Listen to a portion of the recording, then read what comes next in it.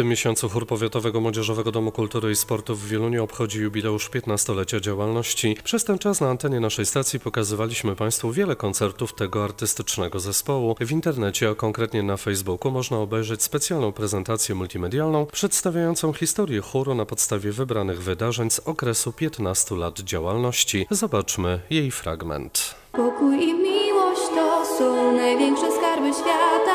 Warto więc żyć w pokoju odnajdziesz sens pięknego życia. Śpiewaj więc Alleluja.